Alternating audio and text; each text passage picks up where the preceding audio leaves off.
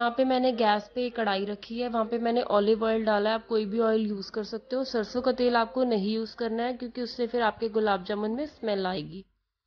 अब यहाँ पर हम सारे जो हमने बॉल्स बनाई थी, वो हम तेल में डाल देंगे। तेल को हमें जो है वो सिम पे ही रखना है, गैस को फुल नहीं करना। इससे क्या होगा, हमारे जो गुलाब जामुन है, वो जलेंगे नहीं और बिल्कुल ही कलर भी अच्छा आएगा और बहुत सॉफ्ट रहेंगे अंदर से। यहाँ पर चाशनी बनाने के लिए मैंने एक पैन गैस पर रख दिया, उसमें चीनी मैंने डाल दी है चाशनी बनने के लिए।